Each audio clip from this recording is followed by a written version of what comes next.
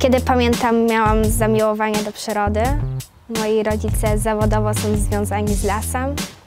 Tata zabierał mnie do pracy i zaszczepił we mnie pasję do drewna, którą mam do teraz. Skończyłam technikum leśne, a w wieku 18 lat dołączyłam do teamu Drwali Sztila. Jestem tutaj jedyną dziewczyną, ale czuję wsparcie ze strony kolegów po fachu, często starszych i już bardzo doświadczonych. Tworzymy zgrany zespół, łączy nas dobra atmosfera i przyjaźń.